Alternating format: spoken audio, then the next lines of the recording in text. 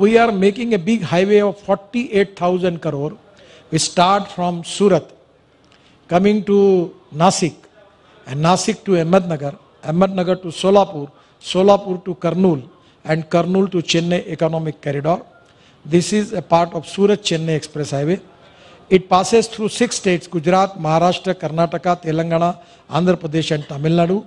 The Surat Chennai project is of six lane access control expressway with total length of 1,270 kilometers. The cost of the project is 48,000 crore. The Solapur Kurnool highway is an access control corridor with a total length of 340 kilometer and total capital cost is 11,000 crore.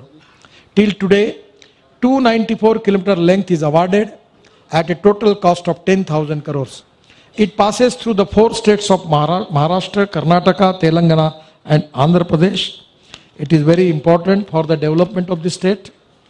And uh, it passes through developing districts of Kalburgi, Yadgir, Raichur, and in North Karnataka. It will boost tourism and pilgrimage in the region of North Karnataka. It will connect important economic centers like Chennai, Kurnool, YSR, Kadapa, Kalburgi, and Solapur. It will increase economic activity in underdeveloped regions of Karnataka.